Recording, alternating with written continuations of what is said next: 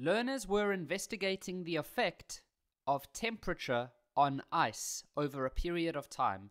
The graph below was drawn from the results. Okay, so obviously I've explained this to you guys before. If you haven't watched that lesson where we talk about these temperature curves, it's very important that you watch that. I will do my best to try add a few little summaries in this one, but obviously I explain it in detail in those lessons. So what we have here in this graph, we can see that the temperature is going up. Okay, so we we starting here and then we ending up over here. So we can see that the temperature is increasing. So we are going to be taking a block of ice and we are going to be turning it into liquid and then turning it into water vapor. And this graph helps us to understand the process and all the different things that are going to take place from the block of ice all the way to the um, vapor or the, the gas. Okay. So it says for the first question, define the term melting. Well, we know that melting is when you go from a solid to a liquid. So we can say that it's the temperature, because they said the melting point. It's the temperature at which a solid becomes a liquid. This one, in which phase is the substance at, oh, in which phase is the substance at in point one? So point one is over here. So is it in the solid, liquid, or gas? Well, if you've watched the videos where I explain these curves, you would understand that right here at this very low temperature, at this phase over here, we are in the solid. Okay. Then this phase over here, we are in the liquid. And then in this phase over here, we are in the gas. This area over here is where we are going from solid to liquid. So that is where we are busy switching over. And then this area over here is where we are going from liquid to gas. So in which phase are we on in point one? We are in the solid phase. Okay. Now it says name the process at point four. So at point four, we are going from a liquid to a gas. Think about if you put water in your kettle at home and you turn it into, you start boiling it, it turns into a gas. That's why you see the steam coming out the top of the, the kettle. That is called um, boiling. Okay, now obviously I could go into way more detail, but I've made a full on video about this already. So you just go find that and then this will make sense, okay? Um, now, this question says on point two on the graph, so point two is this one over here, where we are busy switching from a solid to a liquid. There is no change in temperature. Explain this observation. Ah, so this is the really interesting stuff in that um, this area here, we can notice that the temperature is not changing. Can you see that? When you are changing from solid to liquid, temperature doesn't change. And also when you go from liquid to gas, temperature doesn't change. And that's what we're going to go talk about now. So let's quickly talk about this little area over here. Um, this little portion here from A to B. So from A to B, we are in the solid phase. And so that would be like a block of ice. Okay. And what we must understand is that that block of ice has a whole bunch of water molecules. So let's just draw them like this. Okay, a whole bunch of water molecules.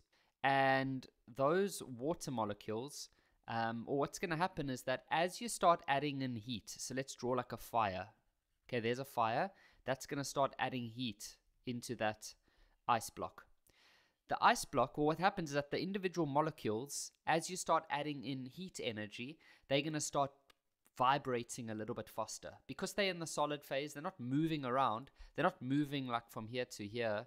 But what they are going to start doing is they're going to start vibrating. And they're going to vibrate faster and faster and faster and the temperature is going to begin to rise. Okay? Now, as you get to point B, where we've reached for water, which is at zero degrees Celsius, what's going to start happening now is the intermolecular forces, which are the forces that are in between the molecules. They are the forces that are holding the molecules together. They are called intermolecular. Intermolecular. Okay? What what starts to happen now when we get to 0 degrees is the energy is going to start you can think of it as um, almost like breaking those and it's going to start pulling the it's going to start pulling these molecules further away from each other okay? In the part from a to b that wasn't really happening. That wasn't happening. So all that was happening was the energy from the fire was just causing the molecules to vibrate faster and faster and faster. So because they were going faster and faster and faster, the temperature was increasing because that is what temperature is. Temperature is a measure of the kinetic energy of the molecules. So they were just going faster and faster. But now when we get to this area over here, what now happens is that this energy that is now coming in is no longer going to be used to make the molecules go faster. What that energy is now going to be used for is to start overcoming these forces of attraction between the molecules. And it's going to start pulling the molecules apart.